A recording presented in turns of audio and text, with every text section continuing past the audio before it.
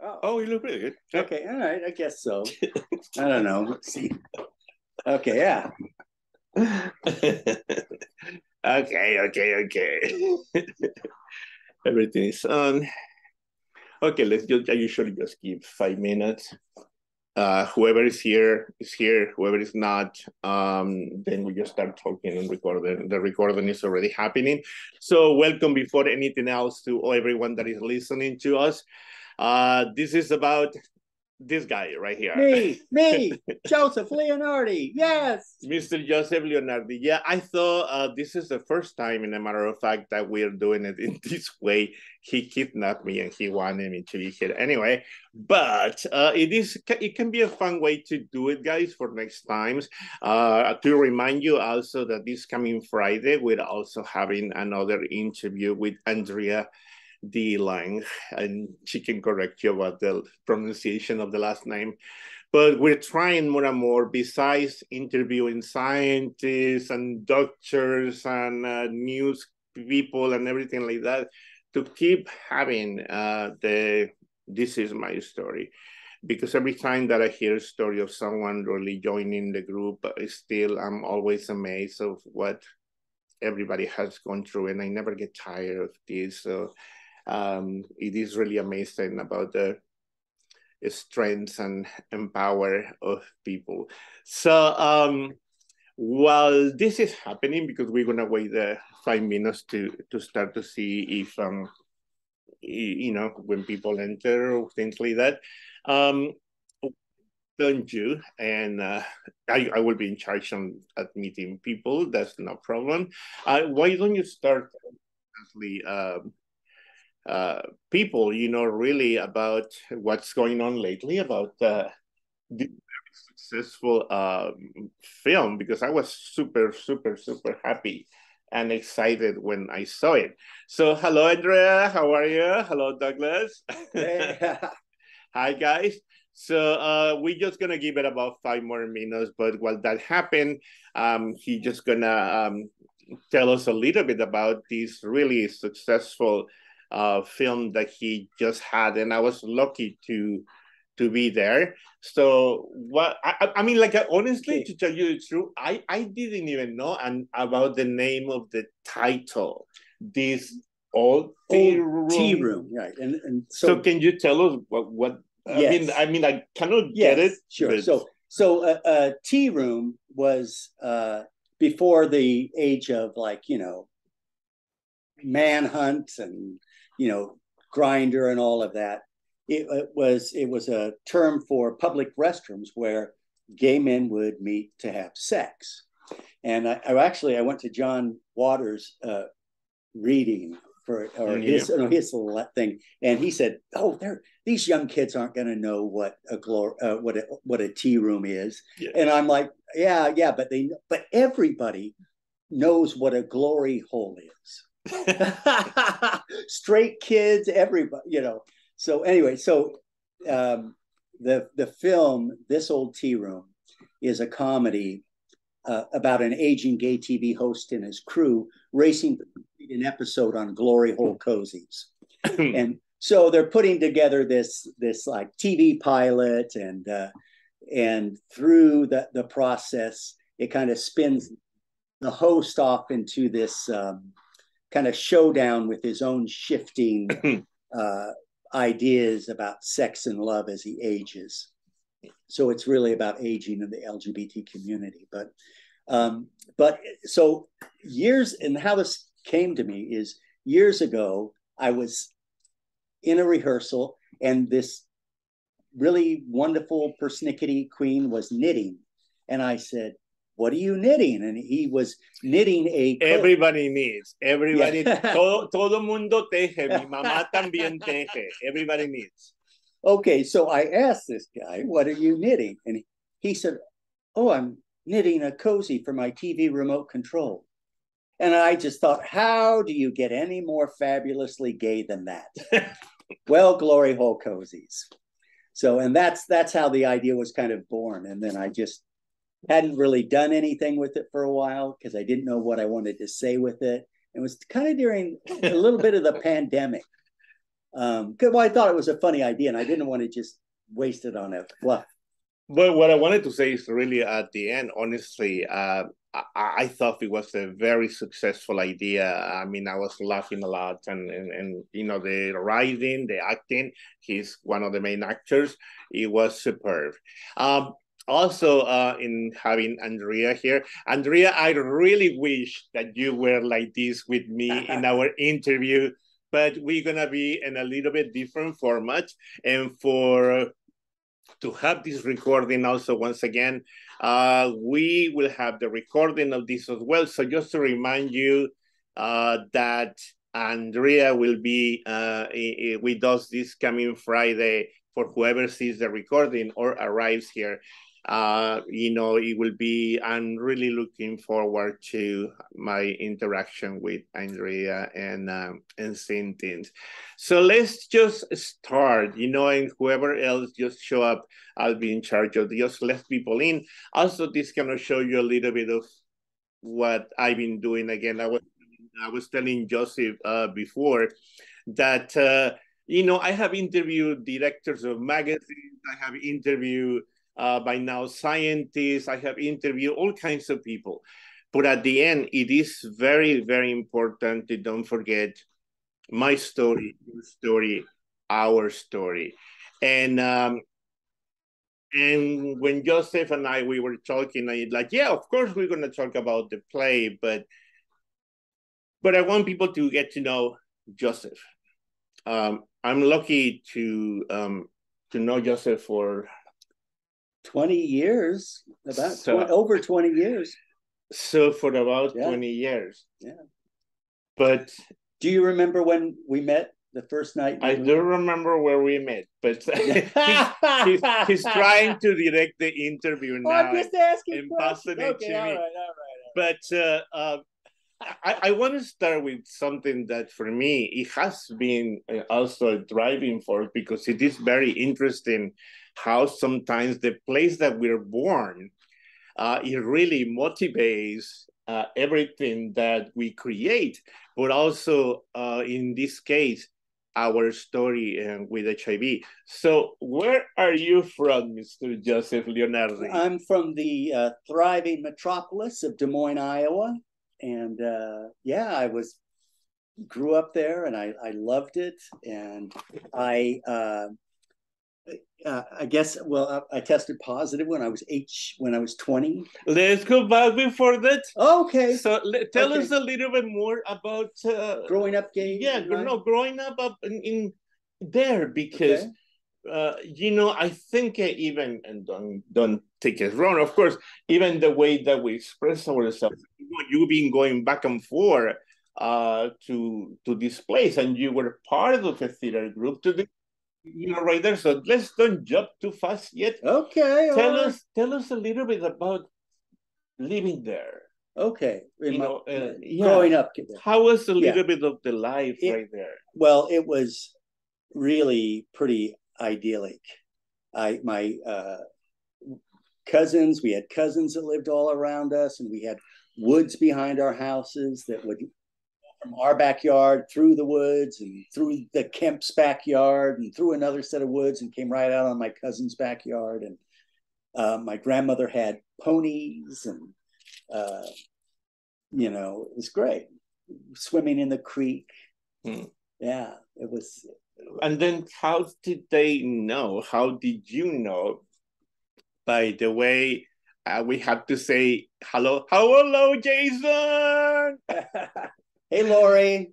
Everybody else right there.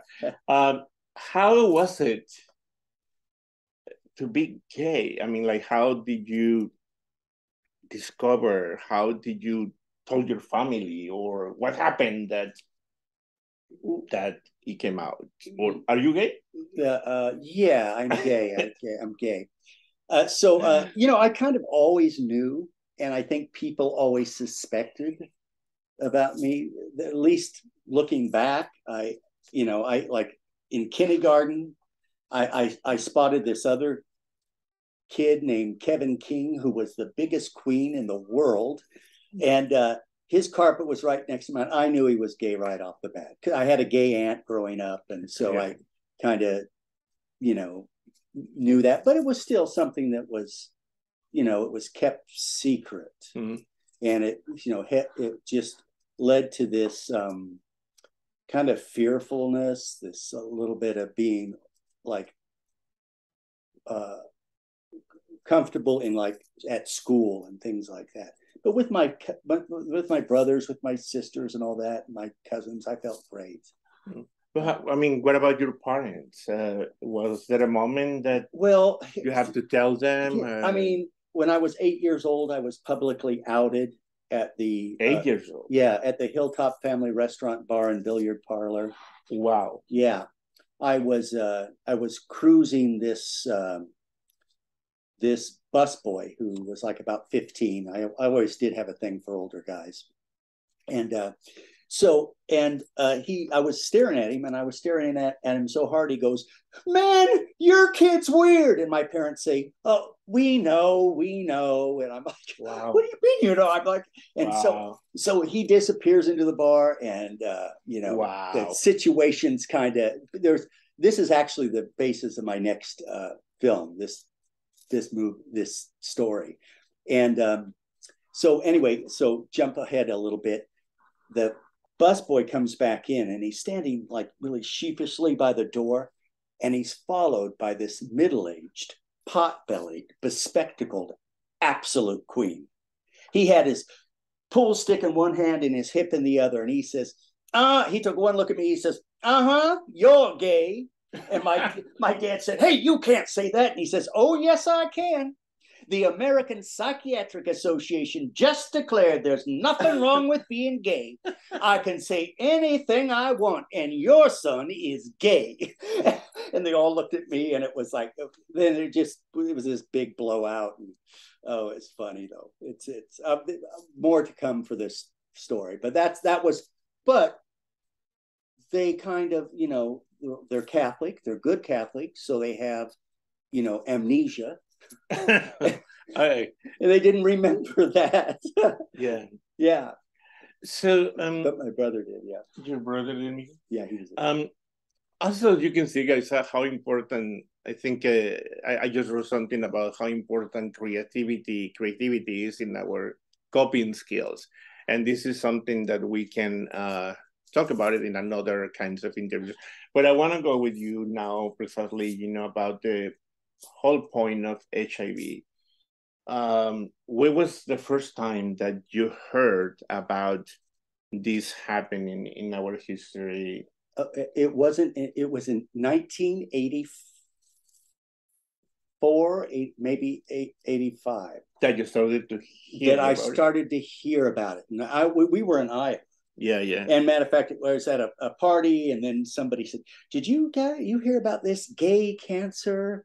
And I'm like, I got upset. I'm like, no, they're just wanting to deny us, stop us from having sex. And uh, and my other friend said, oh yeah, I've heard about that. Mm. But that's just something that happens in you know to people in New York and you know and uh, like San Francisco and and uh, it was it was scary and I you know I I was I was very uh, social and so and I got kind of I just thought oh gosh I better get tested and and see when the test finally came out that was 1987 I got tested and it was J- February of 1987 and uh, you know nothing like nothing there was no treatment at that time of any But so you were positive. yeah, I tested positive at 20 years old. And uh, yeah, and I, I remember I was driving to my parents' house to tell them, and uh, I saw this hitchhiker on the side of the road, and I thought to myself, "Oh, somebody else left out in the cold." And I, I pulled over, and I, I saw that he had like you know he had this like really cute ass, but I, but I was like uh, I pulled over and and I could see him in the rearview mirror running up to the car, and he reaches the car and he opens the door and pokes in his head. His ass was cuter than his face. I'll just say that. But anyway, so you know, so he hops hops in. He's going to bumfuck Iowa somewhere, and I'm like, oh, I'll take you. I'm in no hurry to get home. So, and he gives it. You know, he says, "You get high." I said, "Yeah." He sparks up a joint, gives it to me. I take a hit, and I'm going to hand it back to him, and I see that my saliva on the end of the joint, and and I so I like wiped it off real careful, and I Yeah. handed it to him, and I could see my fear reflected in his eyes back to me. Hmm. And I thought, oh God, the, the, the two things I really, really love and I'm really, really good at, I won't be able to do anymore theater and sex. And, uh, and, but that turned out not to be true. Here it is. I, I, you know, I've done a lot of theater in San Francisco. I've, uh, And he has done a lot of sex, I think. yeah, a lot of sex, a lot of sex. Not so much. It's kind of No, slowing yeah, down a yeah, little these, bit days, lately. these days, yeah, Yeah. these days, a lot of slowing down. But uh, yeah, but that is life. Um, I mean, it's always interesting also to know, um, you know, in my case as an immigrant, in the case of, you know, someone listening as a woman, in the case of someone listening in different ways, um, how did we feel and how is it again that we're still alive? yeah, you growing up in that place and not knowing gosh i say that place like if it was uh the end of the world or something but you you grew up in a very different place again that it wasn't a big city it was not new york or san francisco and i'm sure the information was not much there Mhm. um and you were talking about that there were not many treatments so what But did you that- do Well, there was. um I'll, I'll just uh, let me say this other piece Sure, about sure, when I, sure. I drops it. I dropped this unrequited stranger off right at the Casey's convenience store, and I struck back out on the freeway headed home, and it was really, really dark, and I could, and foggy, and I couldn't see in front of me barely at all, and and I thought, oh no, I'm going to get in a wreck, or and I thought about pulling over and stopping, and I thought, no, it's so foggy, another car will hit me, and uh, you know, or I'll run out of gas and I'll freeze to death, and then this uh, like feeling came over my like a presence came over me. And the thought settled into my mind if you just keep moving forward and you take it easy you're going to be okay. And i just equated that to the hiv and that. But in terms of what services were in des moines they i think rel- i was part of one of the i was part of the first um like support group Mm. in Des Moines that they had at this uh, Mercy Hospital, and um, and there was a guy from the used from who was from Des Moines originally, but lived in San Francisco. He came back, and he was the you know the witty, absurd, absurd queen, and and I thought, oh well, that's not my role. And then and there was, a, but it was, and then we kind of started, you know, those were people they were sicker than they were sick Wow. and I wasn't. And so uh, I started to buddy them, you Mm. know, like go take them shopping, take them errands, and um, but it was it was hard because you know to to be out about that. I wasn't too out in the beginning, although I, you know, remember writing letters to our like my state senators to support HIV funding and stuff. Um, one of the questions that I guess uh, ask all the time, and um, and I have my own version of it, but I think it's very important that each one of us really um, say what we think about that. You know, how is that you think you are alive and others are not? Well, the reason I think I didn't die a long time ago, like other people who did, is because I'm a procrastinator, and I was just going to put that put that off. I just can't, couldn't get to it, you know, too busy. No, I you know, I think it, you know. too easy to I think one thing is I, I, you know, I had a friend who um, was very into metaphysics, and he introduced me to Louise Hay, Mm. which was all that was around. Yeah, right. And I, I, I don't know, good genes, but having you know that attitude and not being as fearful about dying, it it it helped. But I, it must be also good genetics. You know, my father, my grandfather's from Europe, maybe. I don't know. Mm. But yeah. Oh, okay, let's let's uh, put this question also in a different way because most of the times also we talk about our aches and pains, and and it is true. Uh, believe me, I, I live with chronic pain, etc., etc. But what do you think are your strengths?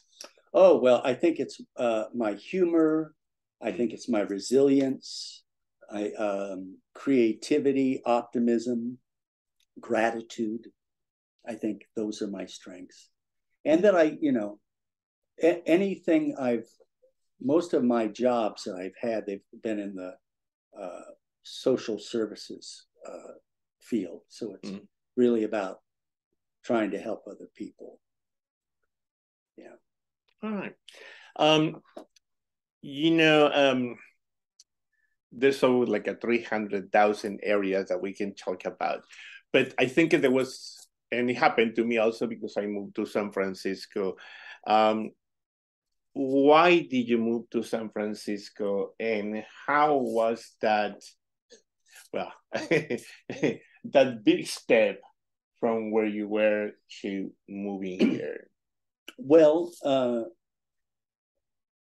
I took a sailboat out of Iowa. And that's, I met this guy in Iowa that he lived in Iowa. And, but, and then he, but like he'd come there for like a month. And then the rest of the year, he'd go to his like little chalet he used to own in Aspen. And then he would sail around the world for, you know, Yeah, yeah. the rest of the year. And I was like, and uh, you know, and uh, anyway, he. Long story short, we're sitting there having drinks. He was saying, I was going to ask because I was saying ah, I'm unhappy in and and and and he said I was going to say, why don't you come with me? And I'm like, I don't know. And I and I my friend Joe was with us, and that day I'd seen a picture of him and his boyfriend walking down the a path in Rio de Janeiro, and was sitting on their mantle. I'm like, what do you think? You know, and he says, yeah, I go for it. And I'm like, okay, when are you leaving? He says, tomorrow morning. And I'm like, oh God. Okay. So, you know, went home, whatever we, you know, I I got up, I took my mother out, and she was going through a divorce with my father at the time. And I said, I took her out to lunch and I said, Ma, I'm, I'm sorry to to leave, but I feel if I don't, I'm gonna die here. Yeah. And she looked across the table at me and said, I don't blame you, Joe. There's nothing but shit in this town anyway. and uh, so, you know, she was going through a divorce. But, you know, so my brothers and sisters were there to take care of her. So I felt okay. Mhm.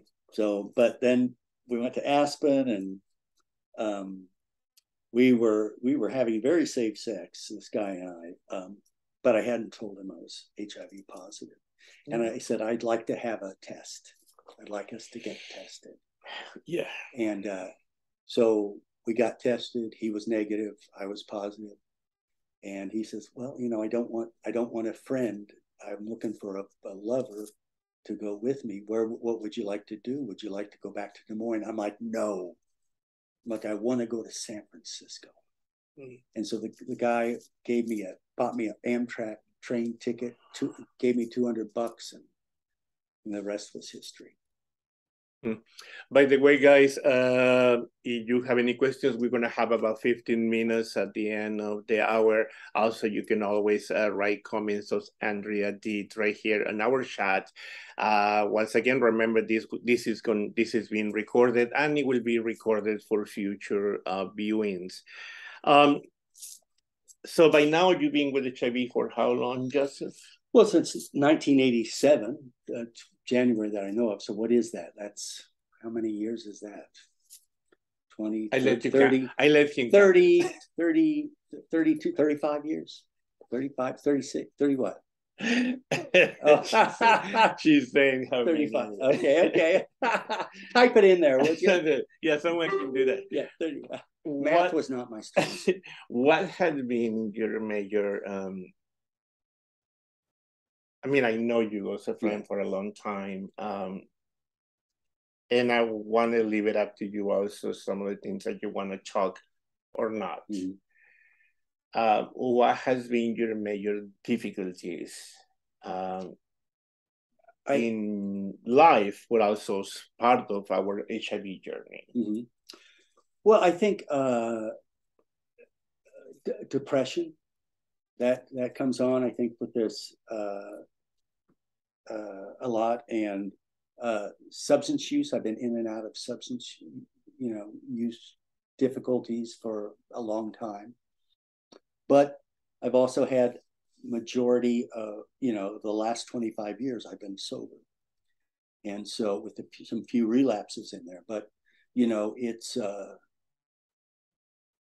and I, I you know there's always that resilience that that that wanting to come back wanting for having that hope that um but that's that's the biggest challenge i think is is depression and and probably substance uh use it's been problematic throughout my life.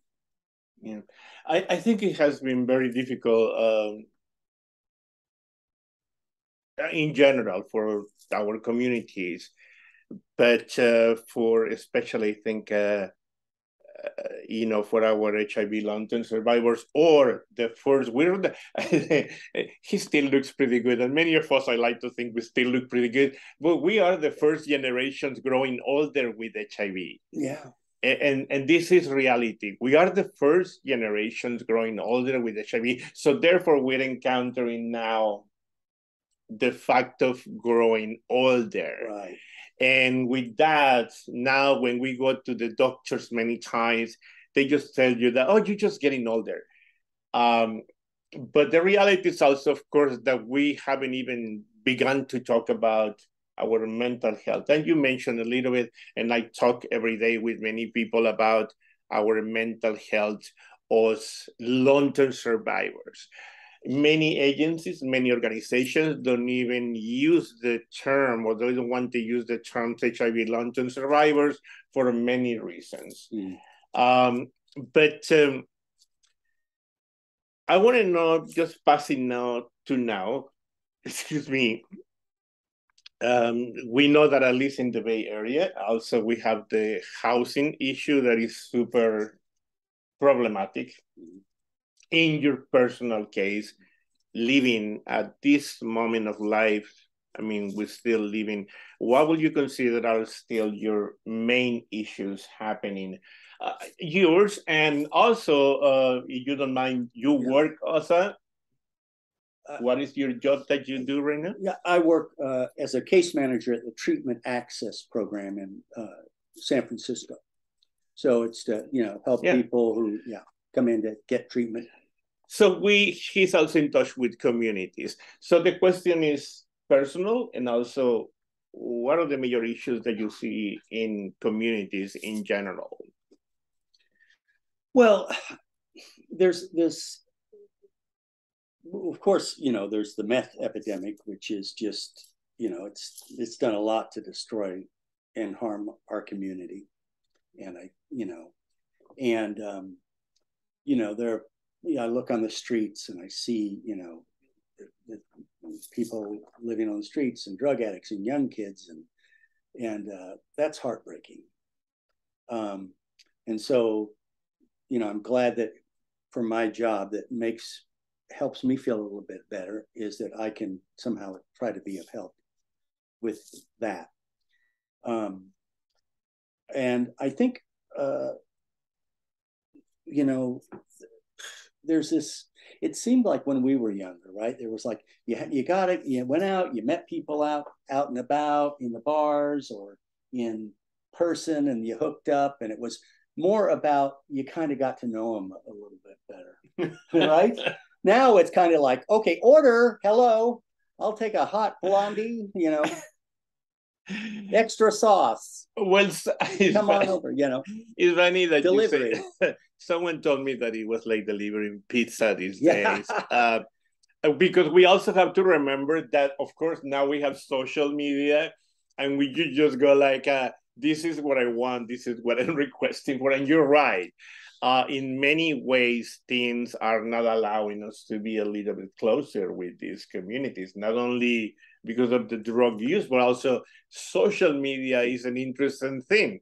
You literally can really request everything that you want and you're looking for uh, but then it doesn't allow you many yeah. times to communicate, right? So, and and I, and I also know there's a lot of reasons why people use drugs. There's reasons of course. why I use yeah, drugs, yeah. and you know, not everybody's an addict, and you know, I I, I want to just emphasize that too. It's not like I'm totally anti-drug or anything but also judgmental because yeah, exactly yeah, right. many times we really need to find out eh, when we see all these people on the streets, it's very easy sometimes just to say, "Oh my God!"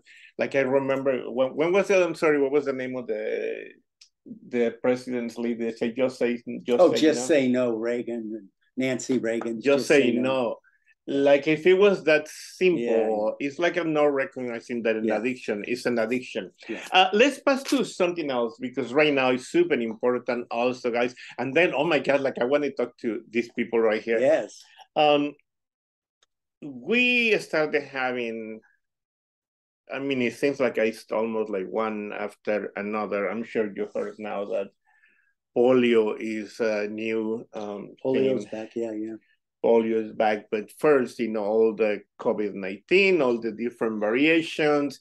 Uh, the Legionnaires' disease was showing up in a few places right here. My doctor told me to also do the meningococcal vaccine mm-hmm. because there were a few cases happening as well. Uh, and uh, of course, we cannot forget monkeypox, the MPX. Many people are trying to call it MPX now in order to eliminate also part of the stigma to it. And now polio. Yeah, because we don't want to offend, offend monkeys. So don't call it monkeypox, call it mpox. Shut up. So I want to know because people have asked me also a lot about that. Um, what kind of triggers, what kind of moments have remind you a lot of what happened in the 80s and the 90s and what kind of differences what we have seen yeah. with the government or not seeing it etc you know well you know the, the whole i was less triggered by covid mm. in in that it was happening to everybody you know and we weren't isolated and um, you know it was across communities and across ages and across borders yeah and um, uh, and, gender, sexuality. The monkeypox was the kind of the weird one. And even though, I mean, I, I just read somebody died down in LA or something. And, you know, and it, and it, oh, you know, I was watching uh, something on the news and this, one of the MAGA people, sheriffs or something, yeah, yeah, yeah. was saying, uh, you know, wait, you know, and this monkeypox, we know who it's a who what little small group that's affecting and you know and it's like oh it's like that again.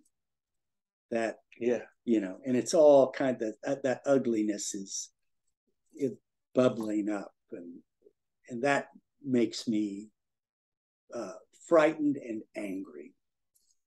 But you know with the with the whole deal with the whole aids epidemic you know there was this post-traumatic growth that came out of that for our community.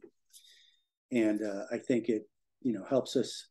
I, I'm I'm convinced that's why, in relatively short order, gay marriage became legal, is because we had that political, you know, machine or infrastructure in place that that we had put in place for HIV that we were, you know, going full, you know, using full force as if our lives depended on it because it did. Yeah. Um, just your opinion, but uh, I mean, one of the things that we've been asked a few of us in media and everything after having, of course, just not long ago, 40 years, 40 years of the first cases of HIV AIDS. And um, of course, then in a matter of uh, two years or so, we had vaccines for COVID 19. Oh, yeah while we still don't have the vaccine for HIV and and we have of course many yeah. other things uh, happening but also including even talking about mental health when it's been talked about long covid but many the news or society or everything still don't recognize the mental health or living with long-term hiv but it is being talked a lot already about long COVID, mental and physical. Um, what do you think about these things happening? I know it can be political, social, whatever, but just whatever you think about it. And because I'm sure even these elements influence your creativity right. and, and your life every right. day. Well, I think it's one, again, that it's affecting more people, the, the COVID, so they were at risk. So that's why they jumped on it. But of course, it's for the reason why there's not a, you know, vaccine for HIV, and there's, you know, because they're making a lot of money off these pills that one pill a day that's keeping us alive. And I think I think that has a lot to do with it. Many people think about these things if uh, these theories are real or not real. Of course, we don't know, but it's it's, it's very uh, sometimes, like many people say, it's, it's, it's weird that in really in a matter of two years there were already like a 300 vaccines for COVID-19. I do want to mention one small anecdote that happened to me that immediately took me to the 80s and the 90s when COVID started to appear and I was in the bus, you know, with my mom, and it was I don't know you guys remember, but it was when they were not allowing the cruise ship to land to land to, to, to yeah. board. I'm sorry, right here in in Oakland. I think it mm. was Oakland, and these people were talking on the bus. And this lady, I'm not lying to you, she literally said, How is it possible that they are allowing these people to land right there or to port or whatever you I don't know the exact term in Oakland. They should be taken to an island and keep them there isolated and not bring them here to our land. Mm-hmm. And that immediately, immediately for me, that was my moment that it really triggered me and it really took me a lot to the 80s and the 90s because I remember very vividly how uh, you know they of course they whole not using the bathroom they're not touching they're not doing that not everything etc etc uh, and now of course happening again also mm-hmm. with monkeypox with mpx um, sadly there has been already many places you know talking about it as the gay disease mm-hmm. uh, or when we already know that is not even um, you know a, a, just sexually transmitted disease. But that was for me like the trigger the moment that really um, it took me to do do those things. Can i ask you something? How because I haven't read really everything that you, you know, I've been reading some things because he had allowed me to write, I mean, to write, to read. Um, how is it that all these elements that happen to you in your life of HIV, but also now all these different pandemics, uh, have you written or are you, excuse me, or you have you wrote something? Yeah, I mean, I back in the 90s, uh, I wrote a show called Positively Twisted, which was about growing up gay in Iowa and being a long term survivor of HIV. Okay. And that was, uh, you know, and uh, yeah, it was it was that was fun. We did it at the Fringe Festival. Took it back to my hometown in Iowa. Mm. You know, kind of did a little bit of touring with it, but it was, mm. yeah. Yeah. Well, I would love to talk to some of these people. I want to know from you before. Let me see what Andrea says. Uh, Lyndon, Lyndon, do I, how do you pronounce it? Lyndon, Lyndon LaRouche.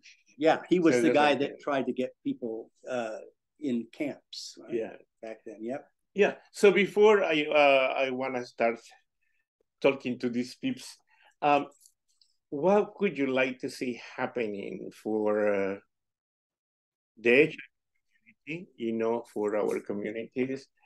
Um,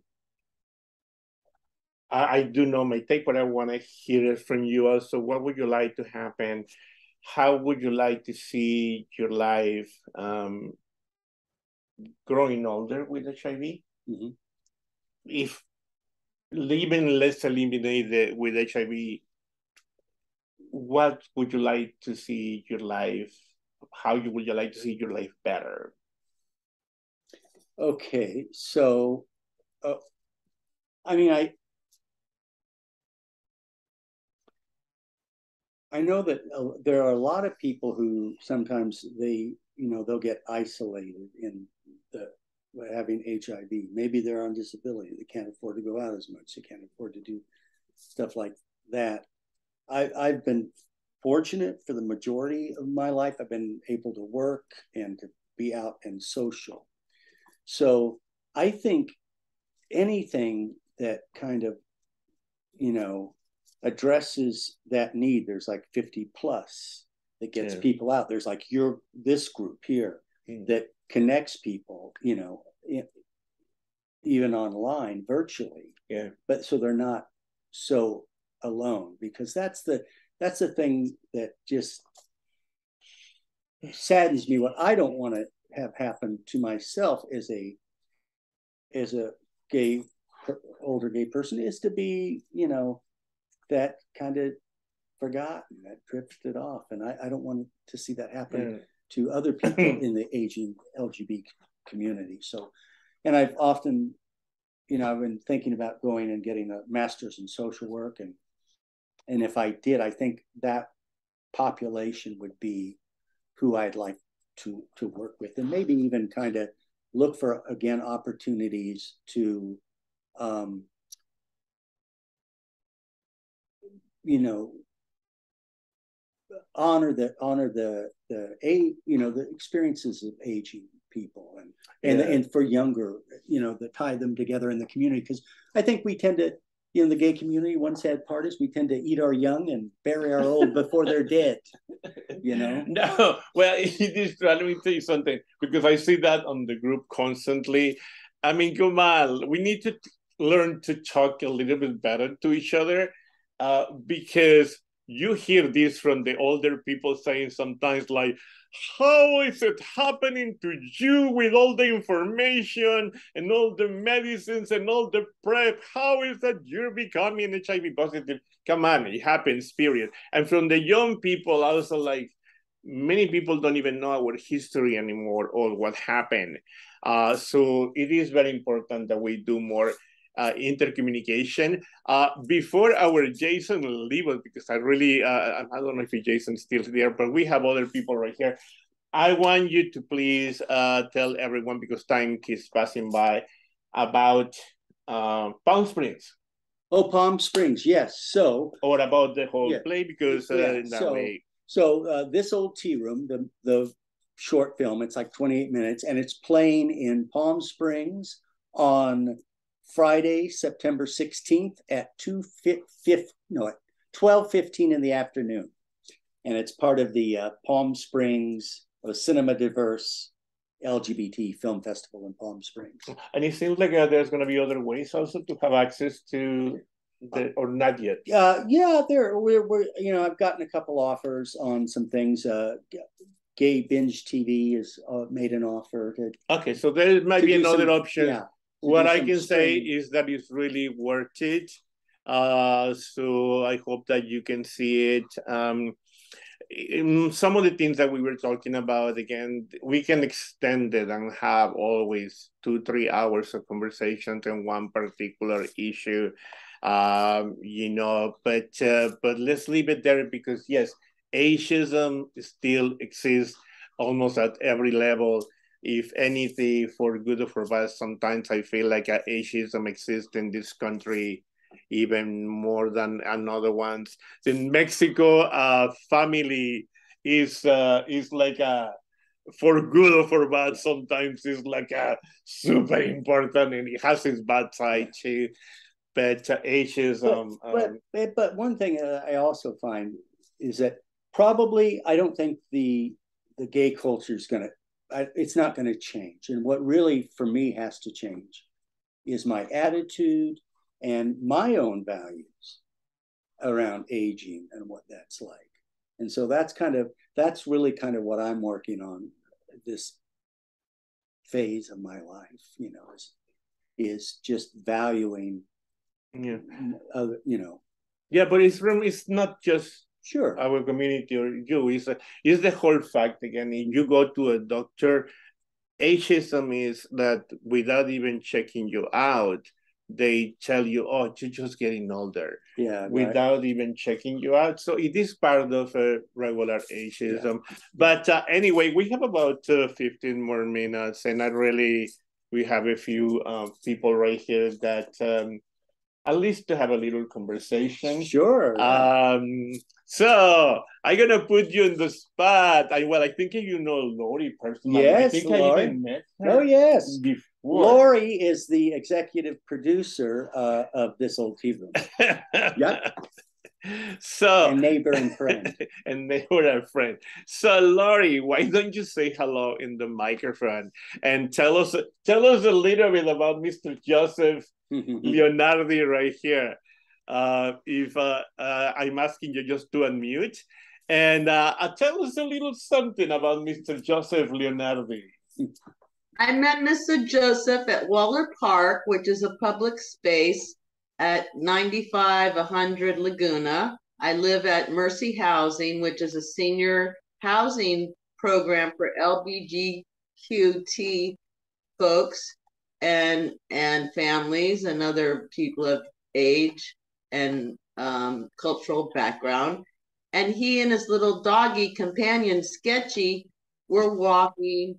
And so we just started talking, and it's been love ever since. It's been an interesting journey of brotherhood, of sisterhood, of creative of flow, of investment, of a really good kindred spirit with talent and my question to Joseph is when you when you get these ideas, do you talk into a, a, a microphone? You write it shorthand, longhand? You type it? How do you process it? Um, I write uh, I write my ideas generally down longhand. Uh-huh. And once I'm then once I'm you know I have enough of an idea that I want to go with, then I'll start typing it on the on the laptop. I didn't know if you had taught Sketchy to um, transcribe to dictate to, or to uh, yeah take shorthand, short paw. Yeah, I was wondering about that. Lori's also a wonderful artist. Oh, good. Yeah, I, I asked him to bring Sketchy. Sketchy is this amazing little puppy. Uh, that I don't know why he didn't bring him, but but I asked him to do that. Uh, I, am going to ask us now something about that. How long did it took you to really from A to Z to create uh, this uh, this old hero?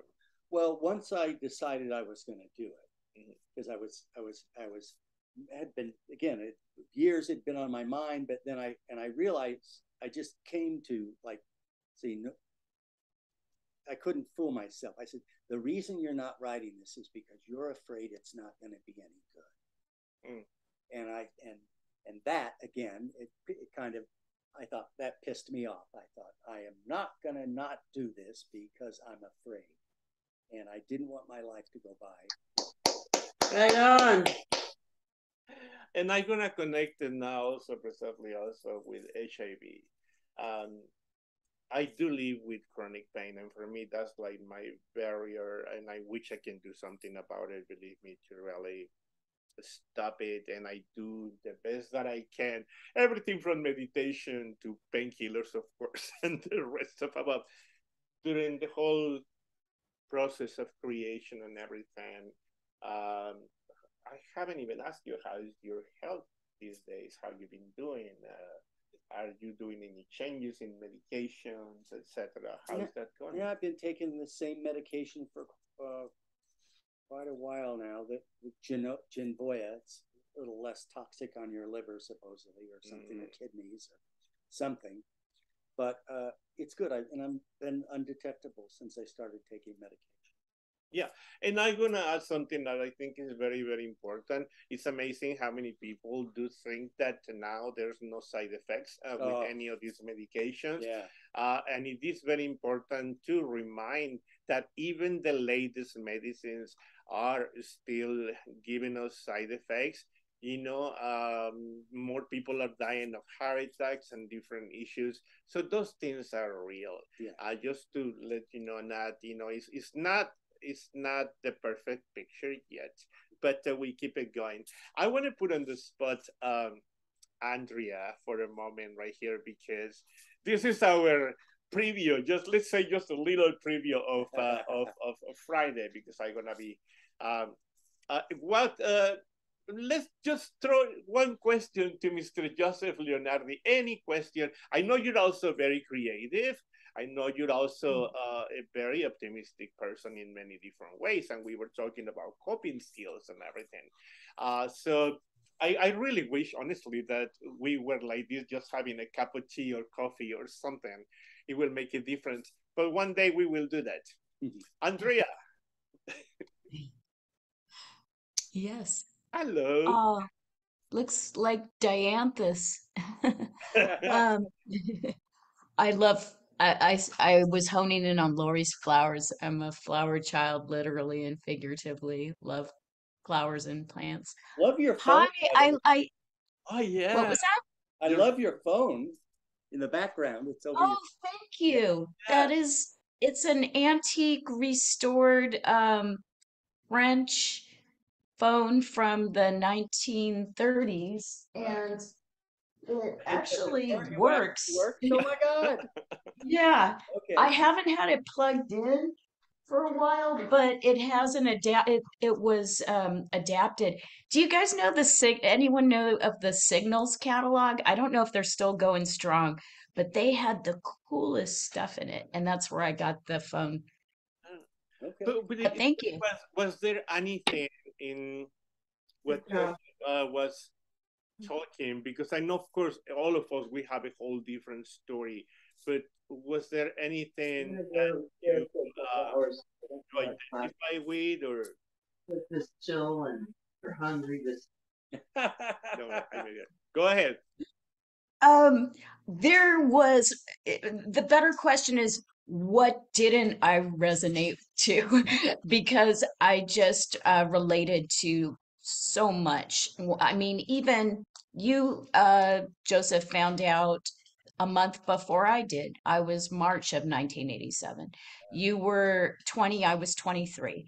Um, you went to Louise Hay. I went to hay rides in West Hollywood. Yeah. Um, you talk about social work and um, doing case management. I was a case manager um, you want to get a master's in social work, I have a master's in marriage, family, and child counseling.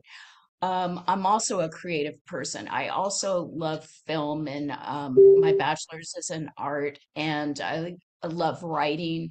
And I love my dog, who's making a lot of noise right now. Uh, and so it's like, what didn't I resonate with? Um, even sex, drugs, and rock and roll. That was my thing. Yeah. so yeah, I I resonated with a lot of what you said.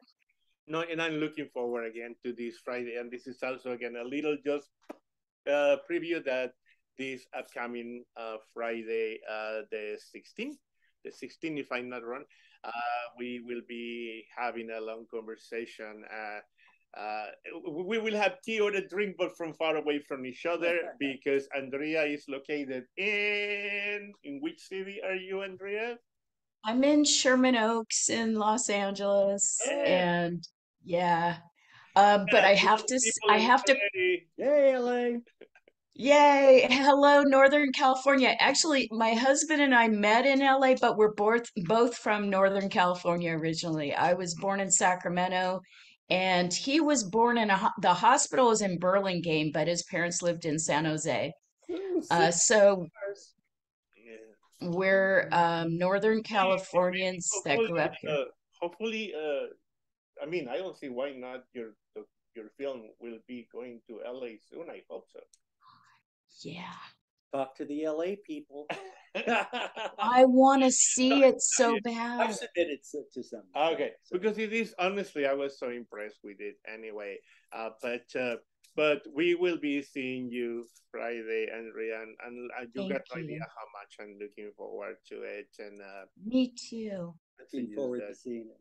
Yeah, Can I, can I add one oh, thing? oh, please, please, Knitting, please. knitting tea, knitting those uh, glory hole cozies or whatever. Um, I I love needlework. I I was a 3D art major and textiles was one of my things. So that's a yeah, needlework is is my jam as well. Yeah, also I will be putting Joseph's information under the recording. Uh, I will share the recording and I will put his information in case if there is uh, any question. Uh, Doug, my beautiful dog, I see you. Hey, Doug. if you have any question, mijo, uh, or any comment, uh, please, uh, this is the moment. Uh, if there is anything that you would like to add, because I know that you are also very far away from us, and this is California representing. What would you like to say, Doug? Anything in particular? we we are all three uh, in about the same area. I'm 35 years. Um, I was, and and I we I've always considered myself in the first wave because that was the first wave on the East Coast. Yeah. Um, you had the first wave on the West Coast, but I was part of the first wave on the East Coast. Um, subsequently, I lost my partner.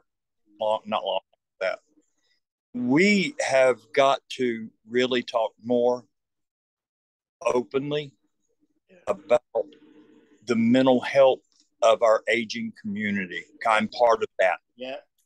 We we have to because there I I do suffer from depression.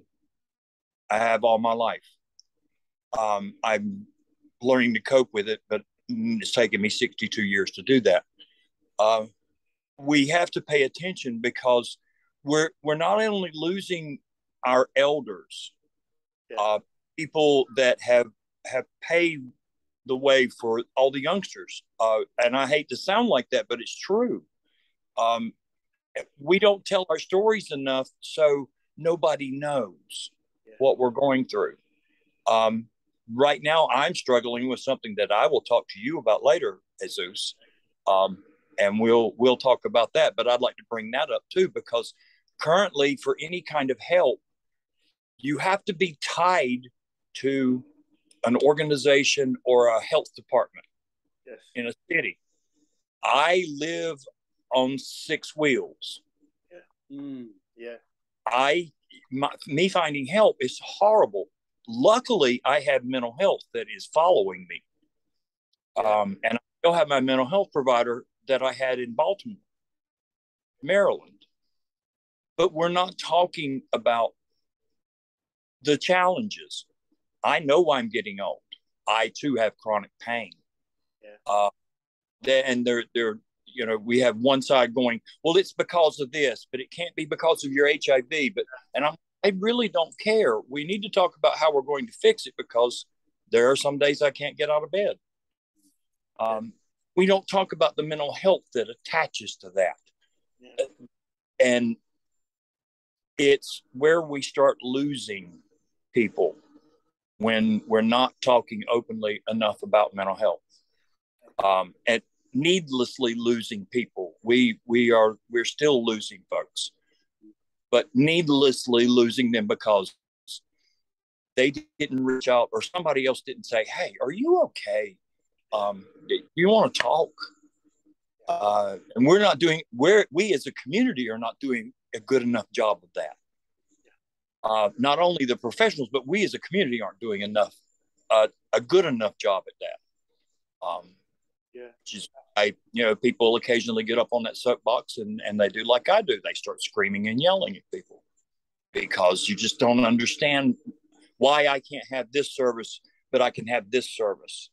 And why won't you pay for my medication? Because I don't necessarily live in your county, but that's where I usually stay when I'm not on the road.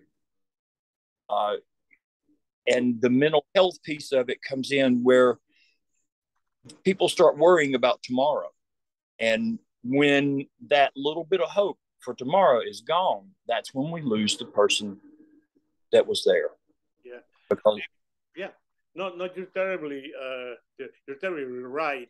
That, that and, and we and we'll talk like you say. Um, sadly, I think especially during these pandemics, uh, it really these problems increase a lot, a lot. very much. Uh, I've been criticized, and, and I know you work for an agency. I'm sorry. I mean, I mean, I mean, it is it is a Well, lovely thing that he well, works for an agency. Well, and we What show I- up there every day. what I and, and this, he Yeah. he showed exactly. But many agencies still are working half time or working from home and not Mhm. reaching out to many of members of the commun our communities. But I think at this this just a specific point, it is worth it to even discuss in one one Zoom, and we will. I, I promise you that. Uh, so um, I want to also say hello and thank you to my mama Yeah. right there. I right there and uh, I, I know this is a uh, you know a small group and sometimes this is a a, a group that is going to be expanded because we're going to be sharing the recording. Uh, but uh, is there anything else that you would like to share Mijo, um, about your life or or the play at this point? No, no, just that uh, I think um, you know they say you know trauma interrupts relations, can disturb relationships, and and so the antidote for trauma uh, is connection. You know, I think it's that for drug addiction. I think it's that for you know, yeah it's connection, and like you were saying, uh, it's just that that's important.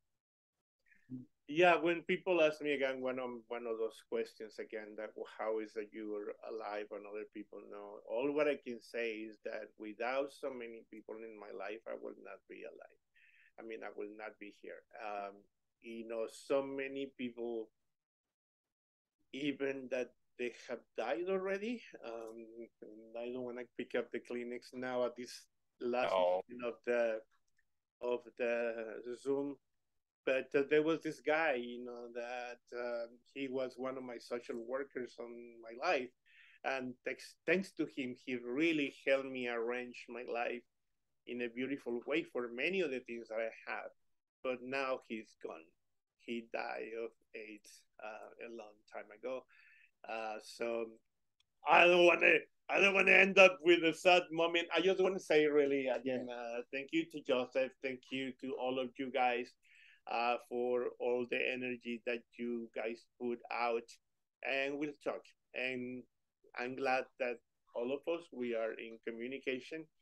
I love you. And I'm very expressive anyway.